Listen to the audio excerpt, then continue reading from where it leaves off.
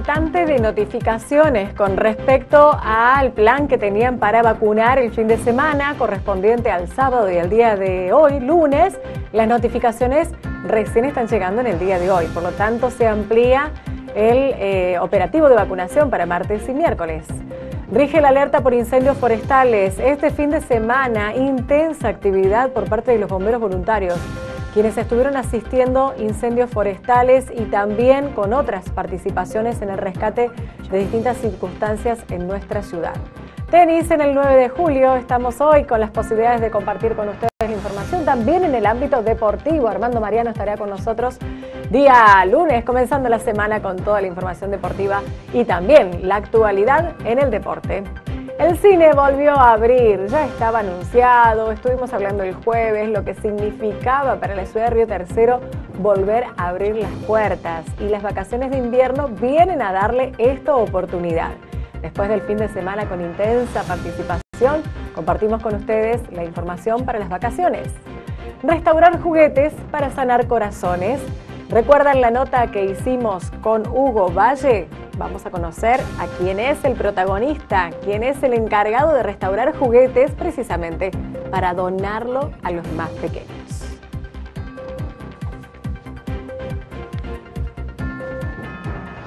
¿Cómo están ustedes? Bienvenidos una vez más. Esto es Local Noticias, arrancando la semanita. ¿Cómo estás, Sole? Muy bien, Flavia. Felices de, bueno, empezar las vacaciones de julio. Mucha gente que ha aprovechado muy bien el feriado o que han partido ya para tomarse unos días.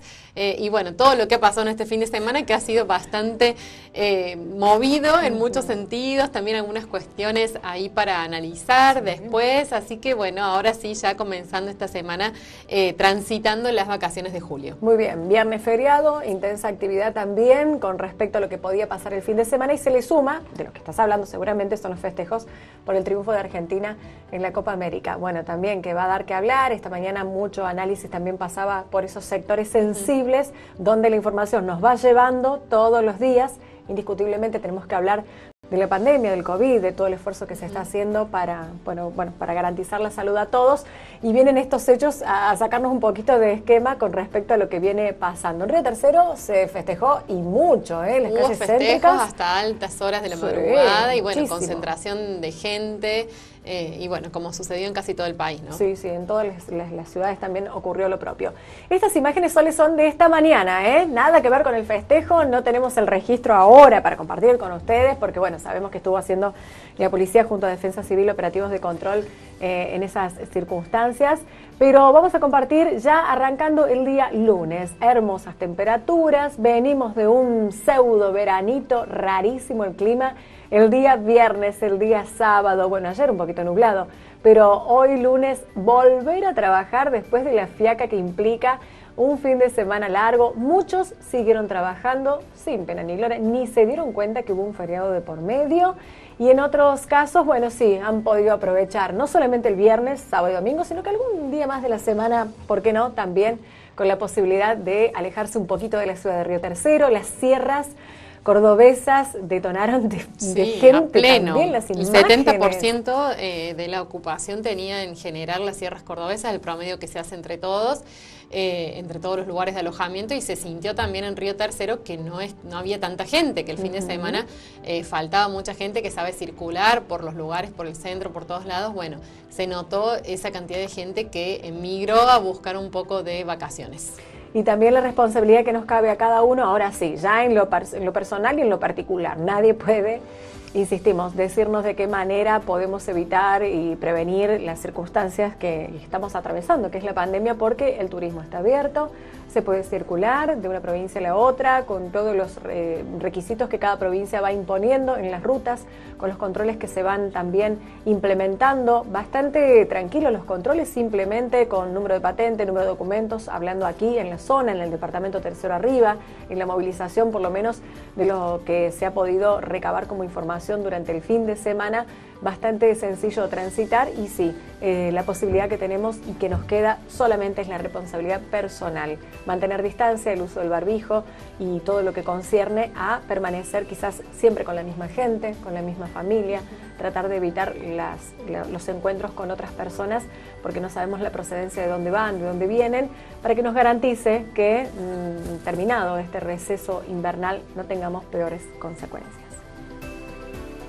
Y a propósito de esto, estamos hablando de la vacunación contra el COVID en la ciudad de Río Tercero, con esta célula de vacunación que es el Polideportivo Municipal, con las personas que van recibiendo las notificaciones y allí es donde se montan estos operativos de vacunación intensos que se vienen realizando también en la ciudad de Río Tercero hubo ausentes de notificaciones. Estaba programado que el día sábado bien se estuvo vacunando, para hoy lunes el mismo operativo iba a tener una extensión hasta la hora 15, pero no habían llegado las notificaciones como debían llegar y sí están llegando a partir de ahora. Por eso se extiende el operativo para el día martes y miércoles. Atentos a la información que nos brinda la doctora Silvina Cisneros, referente de la Secretaría de Salud de nuestra ciudad. Eh, es importante de que sepan los vecinos de que no han llegado las notificaciones de la parte de innovación de la provincia, no se han estado mandando, seguramente las van a recibir hoy para mañana y pasado, así que el operativo lo vamos a extender. Eh, lunes, martes y miércoles, ya que el sábado hemos colocado menos dosis de las que vinieron. Vinieron 1.300 dosis de Sputnik 1 y hemos colocado aproximadamente más de 800. Por eso es que ayer a la tarde tarde nos enteramos de esta situación y dijimos no vamos a modificar nada porque ya la gente tenía internalizado que íbamos a atender de 8 a 15. Entonces de 8 a 15 vamos a estar lunes, martes y miércoles por ahora porque están llegando dosis de vacunas al país, así que por ahí sigamos haciendo el mismo horario también eh, los demás días. Así que todo depende de la cantidad de dosis que eh, lleguen a nuestro vacunatorio. Eh, además de los notificados, doctora, ¿se continúa con la vacunación a personas que no han podido venir en su debido momento por algunas circunstancias? Sí, en realidad eso lo estamos haciendo casi todos los días de operativo. Eh, también traemos AstraZeneca el día que hay Sputnik y, Sinopharm para que la gente, más los fines de semana, en donde aprovechamos a eh, tener las personas que trabajan por ahí, entonces ya lo venimos haciendo de que vengan todas las personas con las notificaciones anteriores para colocarse la, nuestra, la importancia es que las personas estén vacunadas, es lo, el objetivo eh, de, esta ilusión que tenemos de terminar con este virus y es lo que el intendente pretende. Doctora, ¿genera expectativa o ansiedad quienes ah, eh, ya tengan su primera dosis de Sputnik, quizás consultando por la segunda dosis? ¿Han estado vacunando? ¿Van llegando? ¿Qué se le asesora a esa gente? Sí, eh, hasta ahora nosotros no tenemos otra plataforma para combinarla.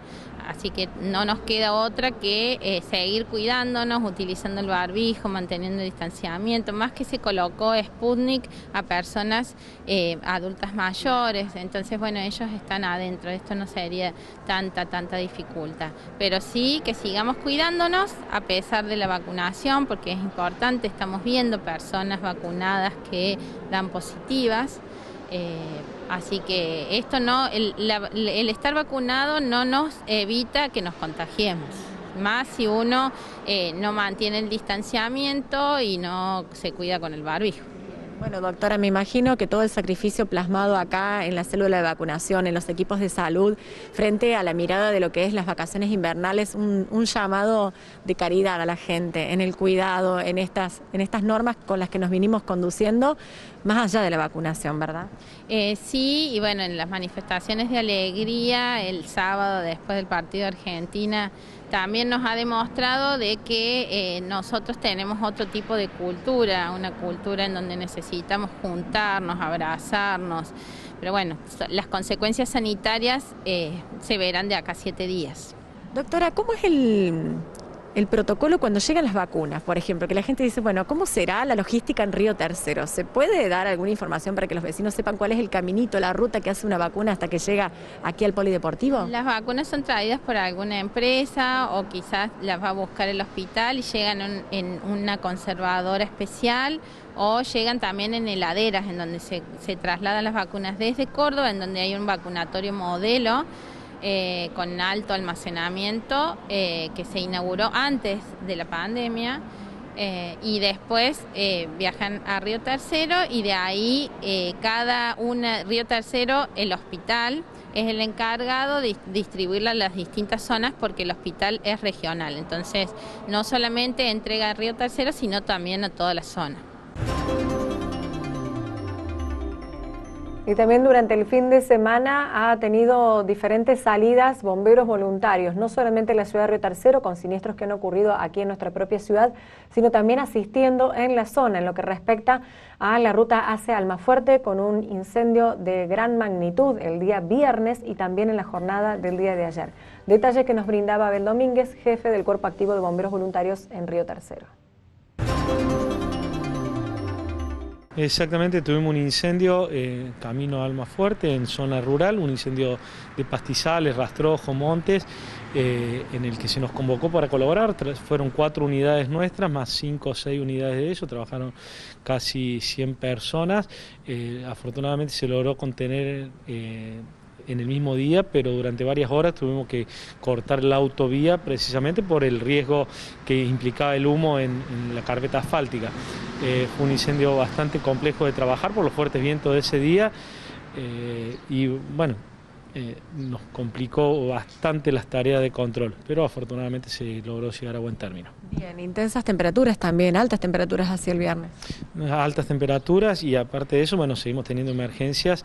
Eh, tuvimos durante el transcurso de ese incendio un rescate de una persona eh, también acá en un barrio de nuestra ciudad, así que la verdad que ese día mm, dejó mucho del lado del hecho de que sea feriado, para nosotros fue un, día prácticamente extraordinario. Bien. ¿Hubo un bombero de Almafuerte lesionado que ha tenido inconvenientes, quedó hospitalizado?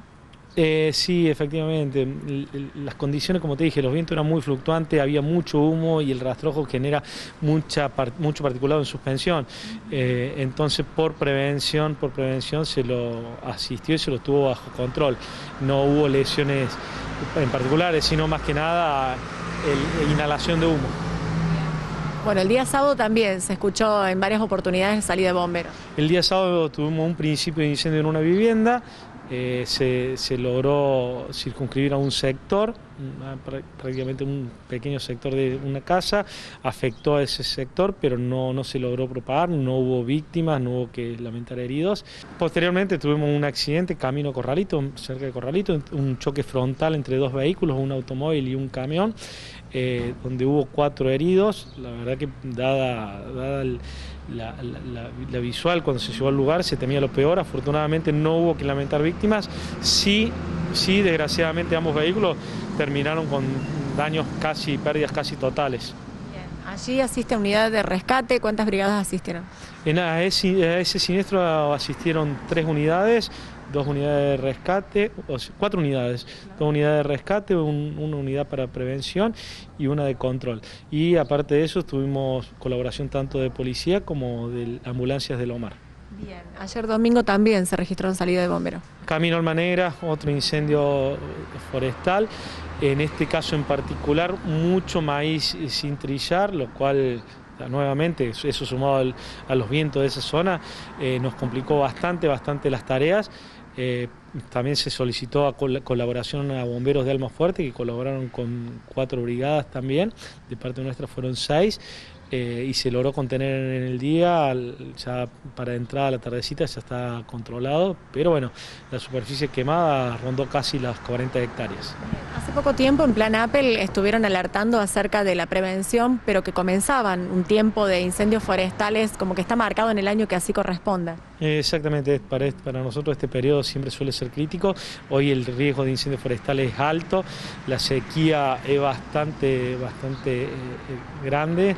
Eh, y bueno, eso sumado a, los fuertes vientos y a, los, días ocasionales con temperaturas que superan la media de invierno, realmente hace un combo bastante crítico y que bueno, que favorece este tipo de siniestros. De hecho, es el segundo fin de semana que tenemos tareas bastante arduas con respecto a incendios eh, forestales y de pastizales. Ya el fin de semana anterior se han registrado dos incendios de magnitud también en nuestra zona.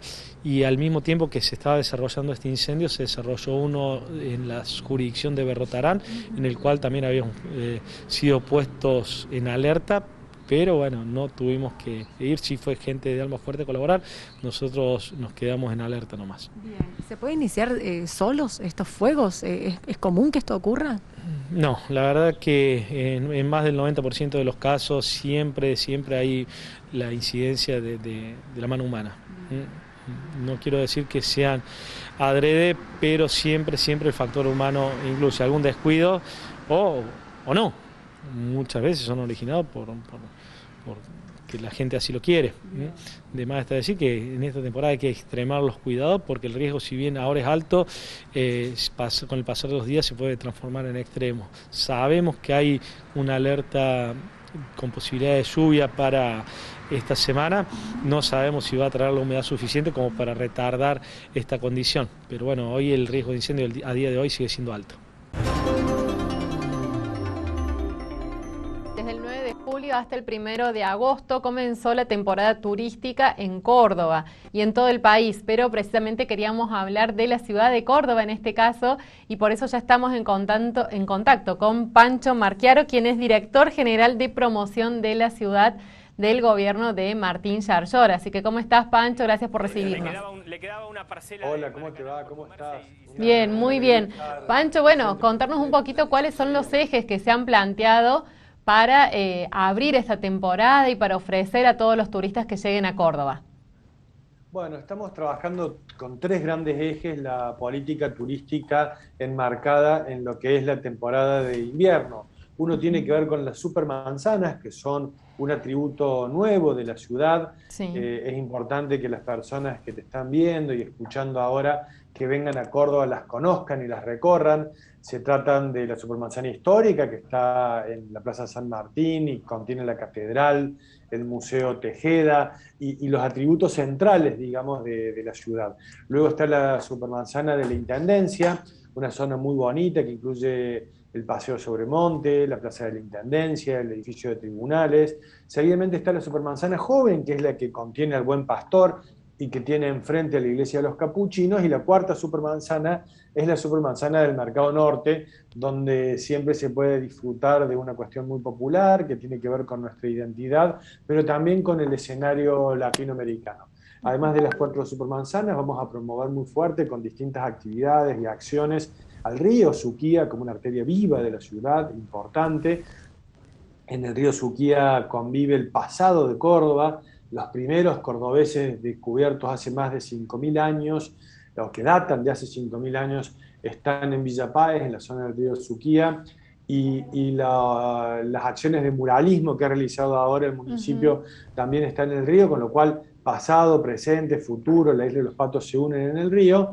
Y un tercer factor tiene que ver con la gastronomía. Hemos impulsado un ciclo que se llama Córdoba por Cordobeses, que tiene propuestas de chefs locales eh, siempre vinculadas con temas de Córdoba, como por ejemplo este, recursos propios, nuestra identidad, el Fernet. Hay algunos muy simpáticos, como por ejemplo lo del Turco, que es un local de comida árabe que ofrece un chori warma, que es un shawarma mezclado con un choripán. En fin, una serie de propuestas que que hacen que Córdoba como destino urbano tenga una oferta gastronómica excepcional para las vacaciones de invierno y sus visitantes. Pancho, pensaba también en estas alianzas que se van haciendo entre el sector público y privado que permite eh, todo esto que estás contando vos y muchas propuestas también a nivel cultural y artístico. Así es. Eh, por un lado, en, en, materia de activación entre público y privado, tenemos una mesa donde hemos discutido todas las propuestas que, que les estoy comentando, más un, conjunto grande de promociones.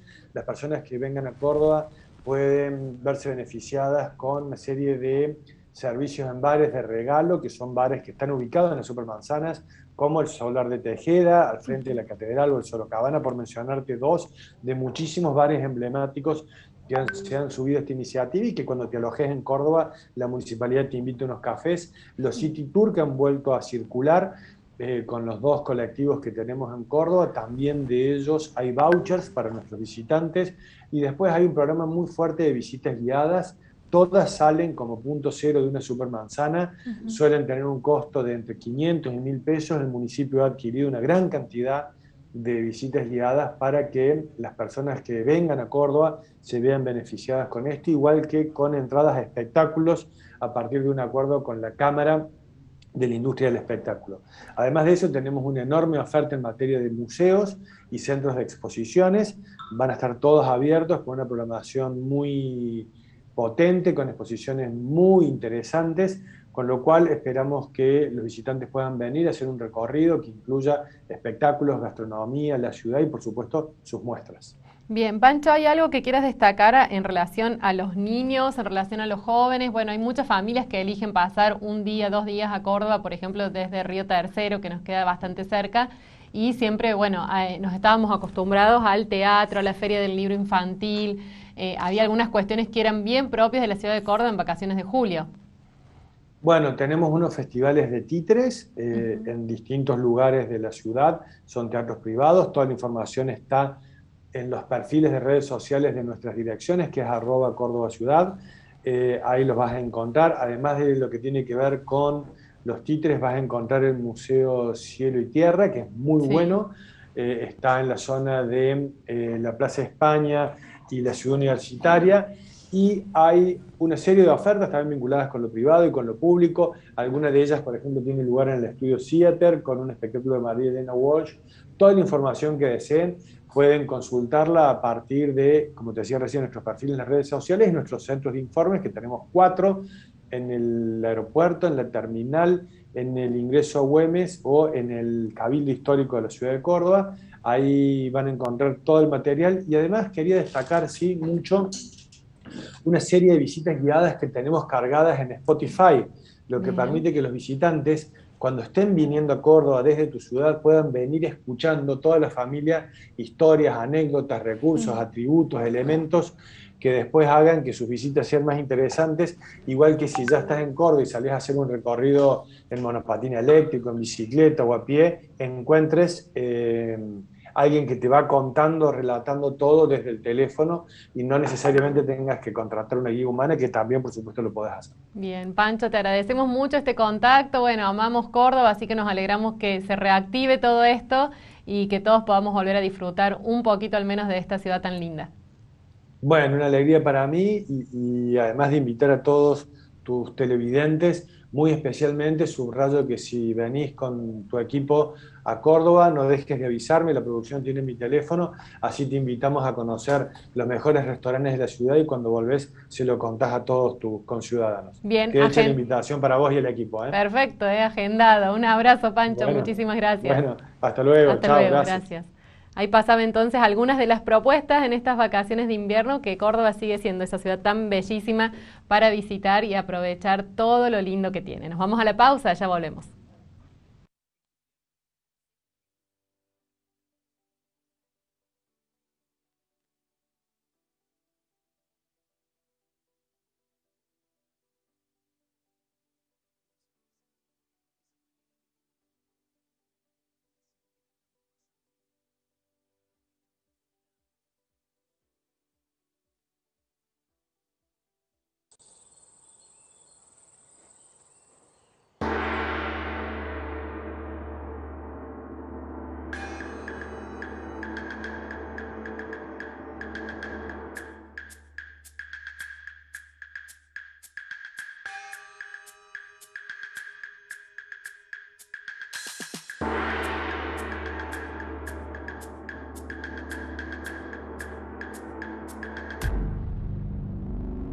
Hace 790.000 años descubrimos el fuego. Hoy todavía hay cavernícolas que provocan incendios. Córdoba es uno de los 10 lugares del mundo con mayor riesgo de incendios forestales. No realices quemas agrícolas, no quemes basura, no hagas asado en espacios sin habilitación. No seas cavernícola, no seas el culpable. Si ves un foco activo, llama al 0800 346.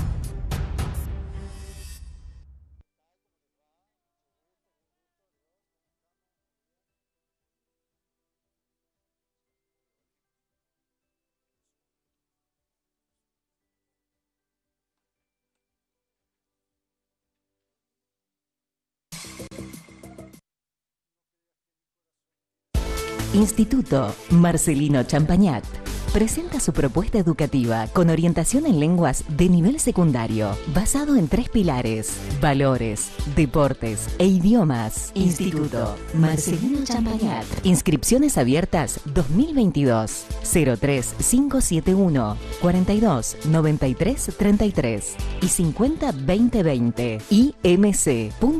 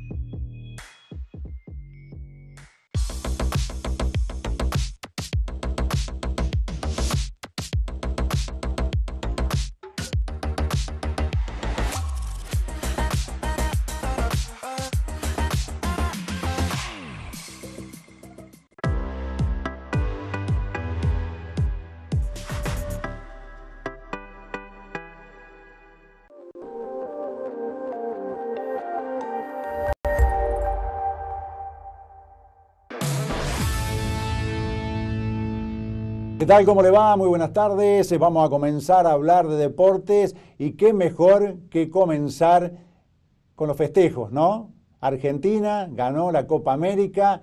Eh, vamos a escuchar los vibrantes relatos de un gol de un gran amigo como es Carlos Andrés El Bolchuriet. Así que comenzamos de esta forma, Argentina campeón.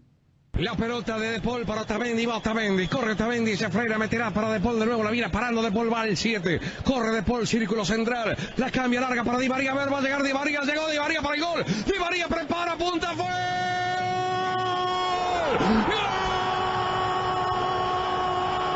¡Gol! ¡Gol!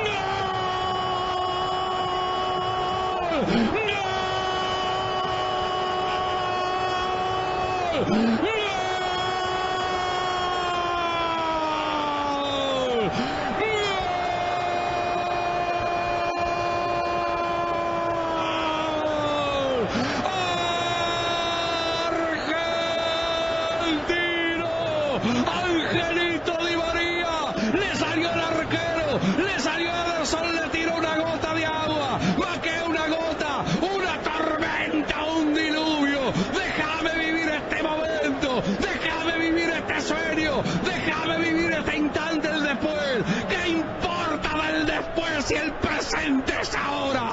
Ganamos porque tenemos un ángel. Ganamos porque tenemos un ángel.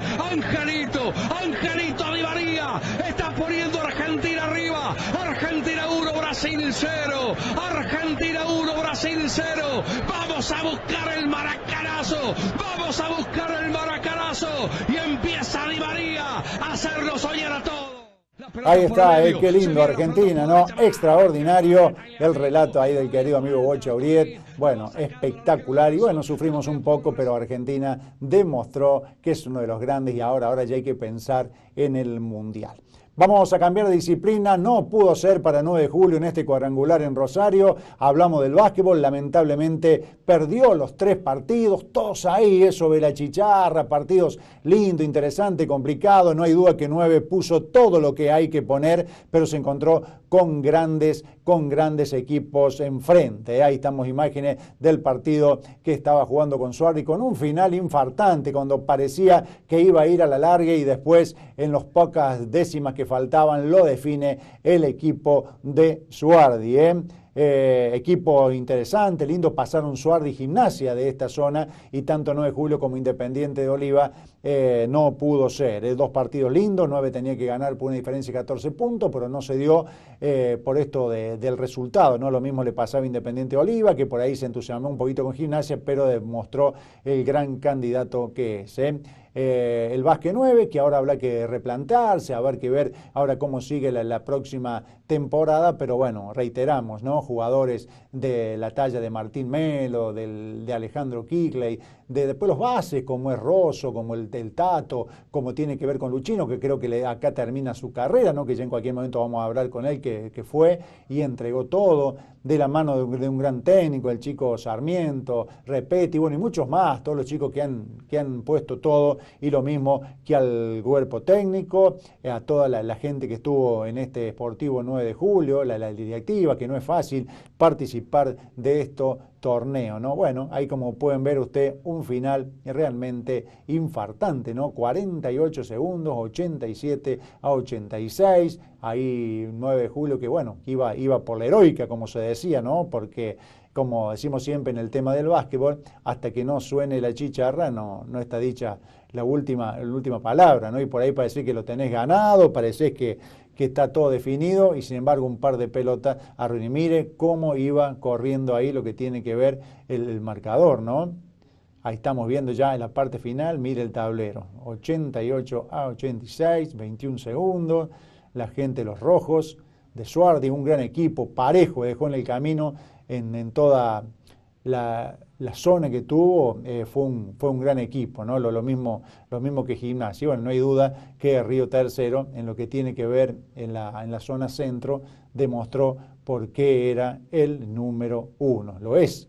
Y demostró también la gente Independiente de Oliva que de esta zona había dos equipos realmente impresionantes. Ahí está lo que estamos viendo, 88 a 86, 6.30 faltaban para lo que tiene que ver con el tema del final del partido. ¿eh? Ahí está lo que tiene que ver con 9 de julio. Felicitaciones una vez más, ya vamos a estar hablando con los protagonistas. Vamos a cerrar este bloque, tiene que ver con el tema del tenis. Ya se han abierto eh, todas las disciplinas deportivas. Antes de ir con la nota, Elio Rosso y todos los chicos, decimos que la escuelita de fútbol y la escuelita barrial y también la de básquet han vuelto a la normalidad y eso nos pone realmente muy contento el trabajo que se hace a través de la escuela municipal, ¿no? con, con grandes protagonistas y los chicos que de ahí salen grandes valores. Cerramos este bloque a todo tenis.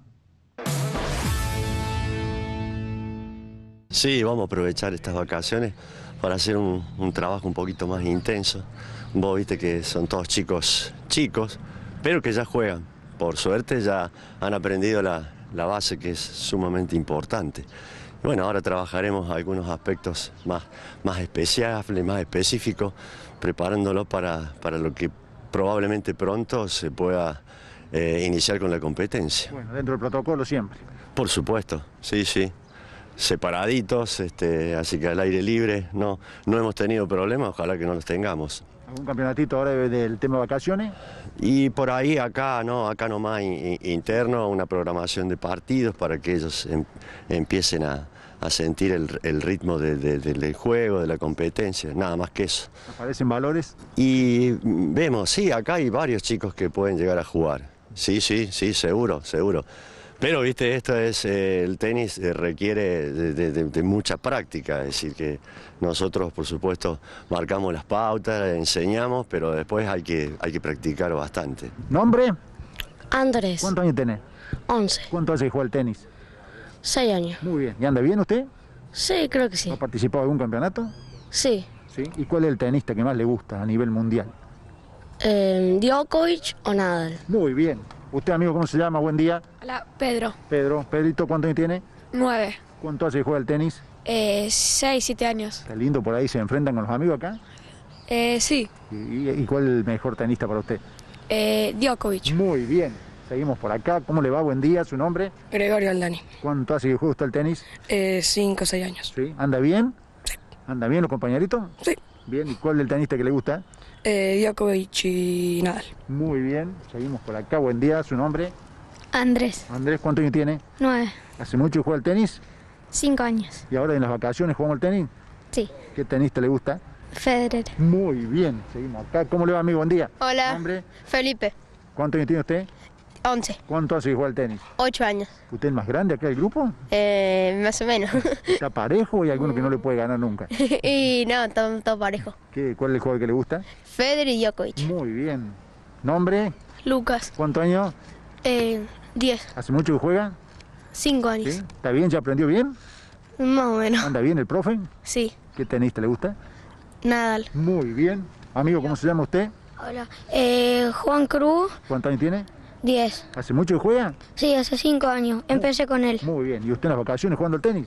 Sí, ¿Y anda bien usted? sí. ¿Qué tenista le gusta? Djokovic. Muy bien. ¿Nombre? Rafael, ¿Cuántos años tiene Rafael? 9. ¿Hace mucho que juega?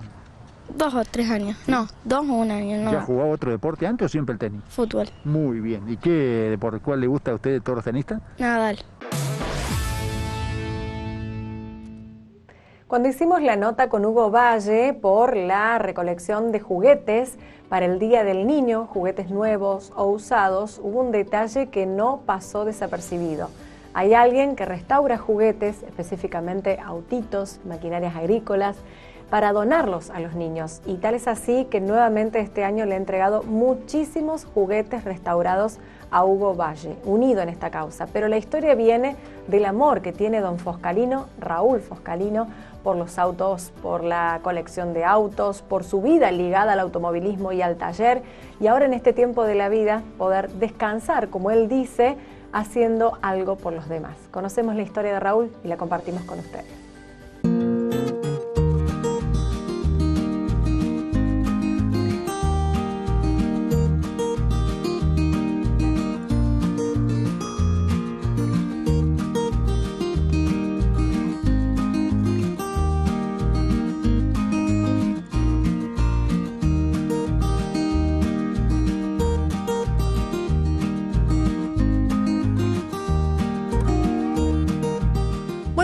Cuéntenos cómo comenzó con este hobby de restaurar juguetes, específicamente autos o quizás otros juguetes. Bueno, autos sí, este, porque inclusive este año he conseguido algo para las nenas también. Este, o sea que todo lo que sea juguete trato de, de restaurarlo. Hasta las muñecas restauro también, que es una cosa ya más de mujer que de uno, pero este, y los juguetes, los autitos, sí, los varones tienen- por lo general son todos ju- juguetes de auto, camioncitos, máquinas agrícolas, así. Y he ido juntando, mis hijas principalmente me han juntado mucho y necesitaría más todavía porque es difícil conseguirlo, a pesar de que en toda casa hay un juguete roto que a veces se tira y no se utiliza, una lástima. Y a mí me sirve todo, así esté destruido, porque de uno, dos, tres a uno, este, hago un rejunte para poder sacar un juguete adelante. ¿A qué se dedicó durante toda su vida usted? Eh, en mi vida actual ahora estoy jubilado estoy prácticamente dedicado a esto y a mi casa. Tiene un taller también montado. Tenía un taller, sí, que justamente a le digo que hicimos la nota con Atember. Este, y eso ya ahora quedó medio relegado. Este, y me dedico mucho al tema de la casa, mantenerla la casa en condiciones, porque siempre en la casa hay algo roto. ¿Siempre le gustaron los autos? Toda la vida me gustaron los autos y lamento en el alma de llegar a esta edad y no haber podido correr una carrera, como le decía siempre mi hijo, le pude dar la, la posibilidad de correr en karting y en Fórmula 5. Pero bueno, ya pasó, se cumplió una etapa. ¿Y los juguetes los restaura para regalar? ¿Los, los vende? ¿Qué hace con los juguetes? No, no, no, exclusivamente para regalar. Justamente con eso lo, me, llegué a, a Valle, primero para que me orientara un poquito y otra para que él lo- los entregara, porque para mí era, no sé, no era, yo no quería dar la cara para presentarles los juguetes. Yo sí estoy trabajando, lo estoy haciendo y cuando estén listos se los llevo a Valle y Valle sabe distribuirlo. Eh, ya lo hicimos el año pasado para Reyes. Este, repartimos ahí en barrio Los Algarrobos y en Monte Grande. Y ahora el Reyes de este año, la raíz de la pandemia, no pudimos hacerlo. Y este, me dice, vaya, lo vamos a dejar para día del niño. Y estamos ahí medio pendientes todavía porque no sabemos qué va a pasar todavía con todo este problema de la pandemia, pero no obstante eso estamos preparando. No tengo mucho preparado, pero quiero conseguir más para poderme dedicar un poquito más a hacer más. El año pasado logré hacer cerca de 100, vehicu- eh, 100 juguetes, restauré. Así que, este, bueno, es algo que me gusta hacerlo también como hobby y a su vez un bien por otro lado. ¿De dónde aprendió? ¿Quién le enseñó a hacerlo? ¿Quién me enseñó? Nadie. Lo hice de, de instinto nomás que tengo. Me gustan mucho los detalles. Trato del juguete aproximar lo más posible a lo nuevo. Es medio imposible. Pero a veces, como le decía recién, de dos o tres hago uno. Entonces sale un juguete bastante aproximado. Después les voy a mostrar, ahí tengo algo ya preparado. ¿Y qué elementos usa para restaurar? ¿De qué se vale usted? ¿De elementos que ya existen, tapitas, cositas? No, no, la ju- el juguete en sí, este, lo que más he restaurado son autitos y máquinas agrícolas. Tengo las dos hijas que tienen campo y los chicos de ellas tienen juguetes de maquinaria todas esas cosas. Bueno, eso, con eso te voy. Sí, lo que es difícil, por ejemplo, el tema de los autitos, es las rueditas que por lo general las pierden. Y eso es difícil, poder conseguir que hoy coincida una rueda. A veces hay que hacer un injerto, colocar de otro. Decía que es un trabajito medio artesanal, si se quiere. Eh, ¿Usted cuando era chico tenía juguetes para jugar? ¿Cómo ha sido su infancia? Sí, lamentablemente no, por eso le digo, fue, este, lo comentamos con Valle, porque Valle tuvo un problema más o menos como yo, que de chico no tuvimos juguetes, y bueno, no, no, no salió eso de adentro de, hacerlo para el que no lo puede tener. Hoy más que nunca la situación difícil como está, no es fácil, no es fácil. Por eso trato de hacer todo lo que pueda. Vamos a ver hasta dónde podemos.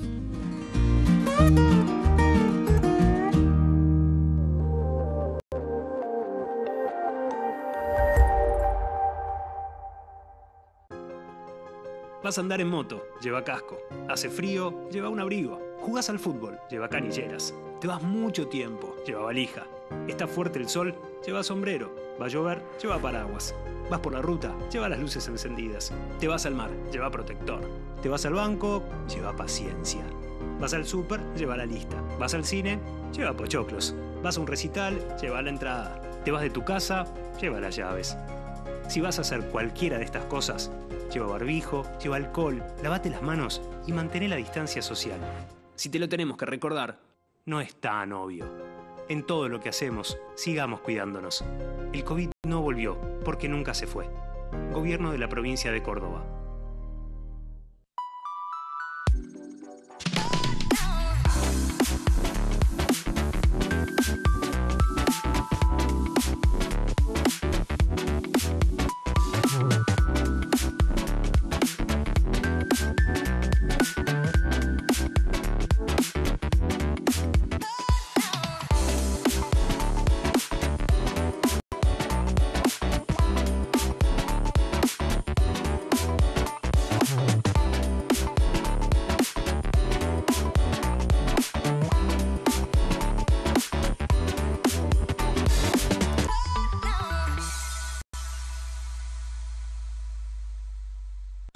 Instituto Marcelino Champañat presenta su propuesta educativa con orientación en lenguas de nivel secundario, basado en tres pilares, valores, deportes e idiomas. Instituto Marcelino Champañat. Inscripciones abiertas 2022 03571 42 93 33 y 50 2020 imc.edu.ar.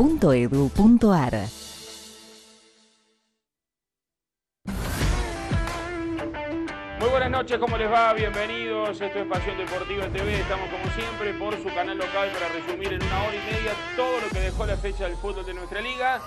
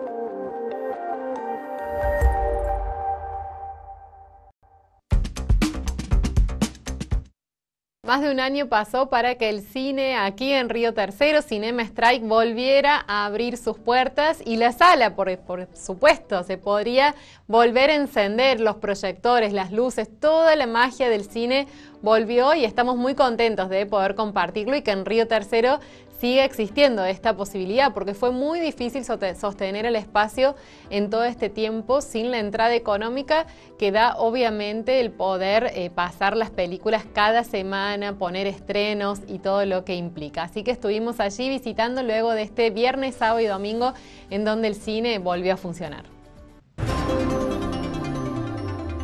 Sí, la verdad que estamos muy contentos, agradecidos. Eh, la gente vino feliz, vino, eh, se nota que necesitamos, todos necesitamos un poquito de salida o estábamos acostumbrados a, a otra vida y lamentablemente, bueno, eh, pero bueno, estamos volviendo a la normalidad. Bien, Bueno, ¿cómo ha sido este primer fin de semana con tanta gente y con la propuesta de tres películas? Bueno, la verdad que la gente ha respondido muy bien. Estamos eh, agradecidos porque hemos eh, eh, preparado un sistema de bioseguridad y la gente realmente lo cumplió y además si en algún momento por distracción o algo, por, por darte un ejemplo, las líneas de distancia en el hall y todo no se estaba respetando, simplemente con decirles que bueno, que teníamos que hacerlo así para poder seguir abiertos, para cuidarnos, inmediatamente era una sonrisa, un disculpa y volver a sus lugares, que bueno, eso es lo que por ahí da un poquito de miedo de que, de que uno se arma un plan y que la gente realmente te acompaña y en eso nos han acompañado, así que estamos muy contentas, no solo por por el eh, por, porque obviamente han venido a ver la peli y, y ha venido mucha gente, sino porque han sido como cuidadosos y estamos todos con este tema de la seguridad en la cabeza que es muy bueno.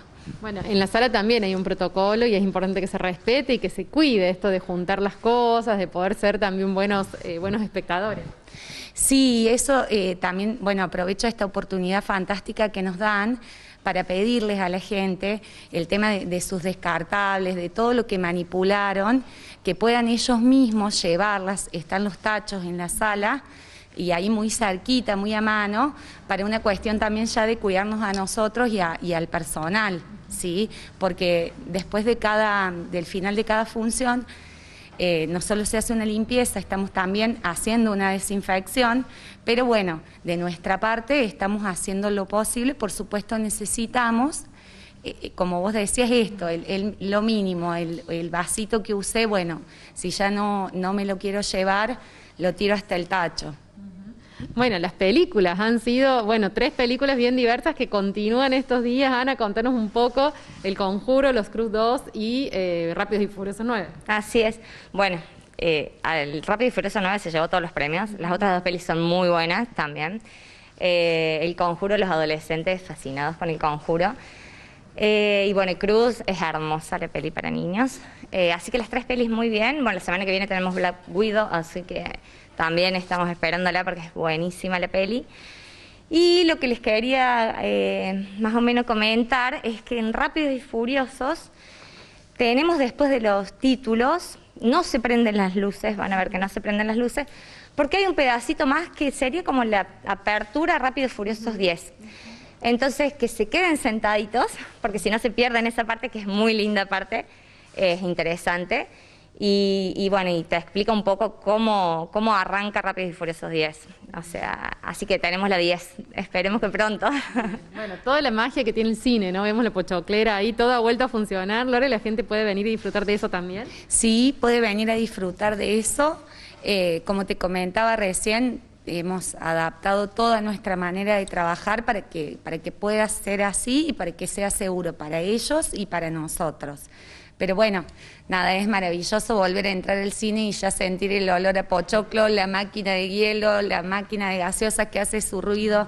Volvió la magia, nosotras felices y no quiero dejar, eh, que en eso creo que estamos absolutamente de acuerdo, de agradecer no solo a la gente que esperó y que nos acompañó ahora que volvimos, Sino bueno, especialmente a nuestros padres que hicieron posible, porque bueno, en la diaria uno, o sea, les agradecemos, pero, pero eh, es como que eh, agradecerles públicamente y, y sin ellos la verdad que hubiesen, hubiese salido cada uno con una butaca al hombro, creo, porque fue terrible Sí, bancar este tiempo, pero no, gracias a lo- ellos. Desde lo económico hubiese sido insostenible y, y fue su voluntad sostener esto y, y, bueno, sí queremos decirles un gracias enorme porque si hoy seguimos teniendo cine es gracias a esas dos personas maravillosas.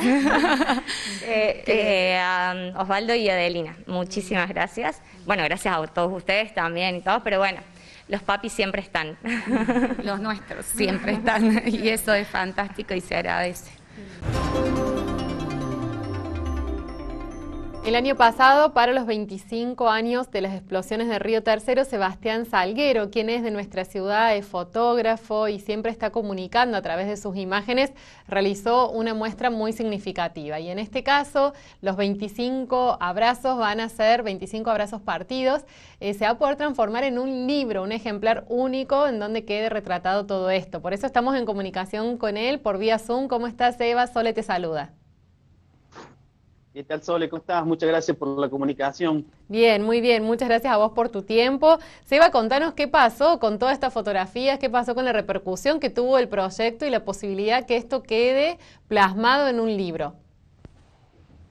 Bueno, la verdad que me alegra bastante porque es una manera de que este tipo de proyectos de, eh, que, bueno, que a muchos nos, llega y que nos, nos significa bastante, eh, mantengan continuidad en el tiempo y, y no se estanquen en ese momento en el que se pueden mostrar o se puedan difundir.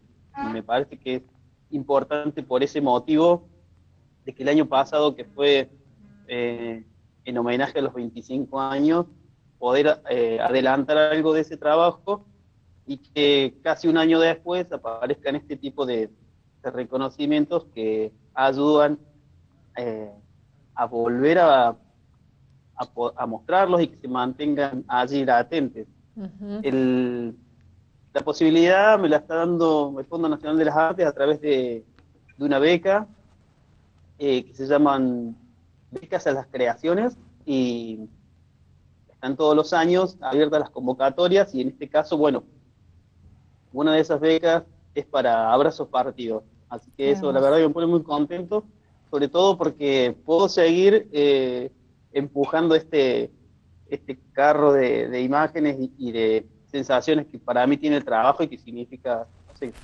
mucho para mí y para todo lo que eh, tuvo que ver este trabajo en estos años. Sí, pensaba también en, bueno, en todas estas personas, estas familias que visitaste, con las que compartiste, que también te facilitaron eh, bueno, tu trabajo y el material que ellos tenían.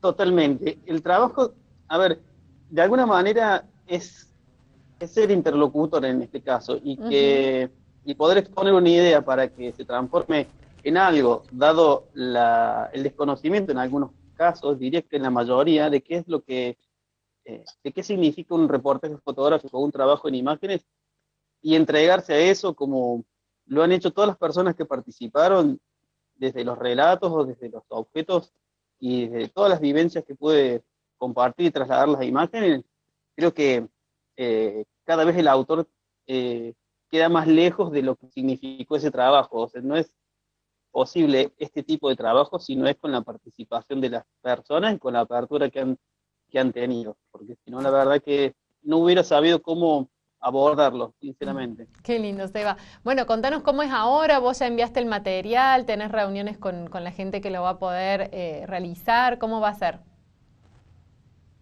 Mira, eh, hay una dinámica bastante simple en este sentido cuando, eh, cuando se otorga este tipo de este tipo de becas y sobre todo en el Nacional de las Artes, que son muchas las que otorgan a distintas, eh, a distintas áreas de la cultura. Eh, y lo que se hace es un, cada autor debe hacer un, propio seguimiento del, trabajo, hay un periodo mínimo de cinco o seis meses en el que yo tengo que entregar el trabajo final eh, como si fuera una tesis más o menos. En este caso, esa, esa beca, que es un, es un monto de dinero, tiene que ser eh, con fines culturales para generar algo que pertenezca al acervo cultural. ¿sí? O sea, eso no puede eh, generar un, un, ingreso propio, sino que todo ese dinero va destinado al producto. O sea que cinco meses que quedan en el momento que se otorga, eh, tengo que empezar a darle forma a, este, a esta idea que yo propuse para que sea eh, participadora de, la beca esta. ¿no? En, el caso, en el caso mío, lo que propuse es hacer que este trabajo, que fue Abrazos Partidos, con los relatos y testimonios, es transformarlo en un libro en forma, de, en forma papel, no digital, que pase al, al archivo y al acervo eh, cultural y patrimonio de la Municipalidad de Río Tercero, ya sea en la sala 3 de noviembre, en la Casa de la Cultura, donde lo crean conveniente. Ese fue el, el, el motivo, digamos, de, este, de la participación en la beca. Así que lo que queda ahora es empezar a, armar un diseño, buscar a alguien que lo imprima. Eh, han aparecido bastantes testimonios nuevos. Ah, Después del año pasado, en, la presentación de, eh, en el homenaje a los 25 años, empezaron aparecer muchas personas que han querido contarme más cosas y posiblemente incorpore algunos testimonios más. Entonces, en estos días debería como cerrar esa parte que todavía eh, eh, quedó como abierta y que asumo que van a seguir apareciendo. Qué lindo. testimonios. Ahora sí que será para formatos más para formatos que vengan más adelante. Hay, hay mucho para hacer todavía. Qué bueno, Seba. ¿Cómo vamos, Ana? No, que hay mucho todavía por hacer y cómo esta historia hace falta todavía que siga siendo contada, ¿no? Para, para mí que sí. Eh, es, esa incomodidad de, decir este trabajo acá eh, se cerró porque o se muestra en un lugar o se cuenta de alguna manera, eh, a mí me deja un poco inquieto, dado que siempre está en continuidad, siempre hay cosas que aparecen. Entonces, ir, ir dándole una una actualidad a eso me parece que ayuda a mantenerlo, mantenerlo vivo. Si bien el año pasado fueron 25 fotos por los 25 días, eh, después de forma virtual, en el tiempo se empieza a diluir y aparece esto que toma forma, toma forma de libro en el que eh, va a poder ver si mantenerlo en la constancia. Capaz que más adelante aparezcan otros testimonios y, y si en algún momento se nos acaba el estado de pandemia, podamos hacer una exposición donde se puedan mostrar los trabajos ya formato fotografía, como me hubiera gustado en algún momento, aparecerán cosas nuevas y creo que se va, eh, se va actualizando de alguna manera hasta que, bueno, en algún momento se mantendrá en la constancia eh, como quede el, el, último aporte fotográfico desde mi parte, ¿no? Así es, Eva. Bueno, desde acá te felicitamos por todo esto, este camino recorrido y por todo lo que vendrá seguramente. Muchas gracias por este contacto con Local Noticias. Bueno, no, gracias a ustedes y la verdad que nunca dejo de agradecer a todas esas personas que han participado desde el primer día hasta el último y con todas ellas que van apareciendo. Me parece que ayudan a que eso de alguna manera se mantenga latente y se pueda de alguna forma ir conviviendo con eso y sanando de alguna forma. Así, que todo lo que, lo que tiene que ver con este trabajo los voy a ir teniendo al tanto cuando el trabajo esté cerrado, eh, esté impreso, me refiero a este libro, y, que se haga la, efectiva donación, les voy a estar avisando, obviamente, para que las personas puedan tener la posibilidad de ir a verlo. La idea es que eso, es eso, que el libro pertenezca y esté en un lugar en el que tenga accesibilidad a todo el mundo y puede ir a, verlo, tomarse el tiempo de, ir a ver y leer el, el proyecto. Así será, entonces lo vamos a esperar. Gracias, Eva, un abrazo. Un abrazo para ustedes, gracias. Gracias. Nosotros ya cerramos la edición de hoy, de este lunes en Local Noticias. Nos volvemos a encontrar mañana. Muchas gracias.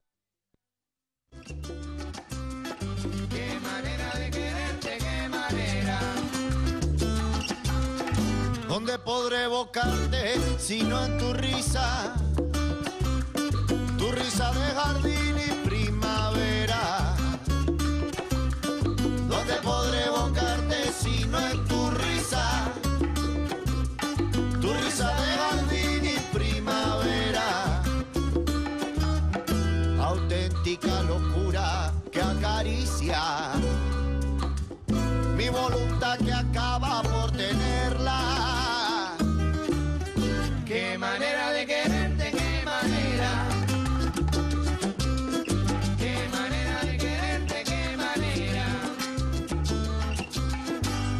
podré soñarte si no en tus ojos?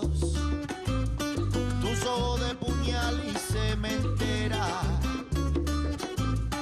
¿Dónde podré soñarte si no en tus ojos? Tus ojos de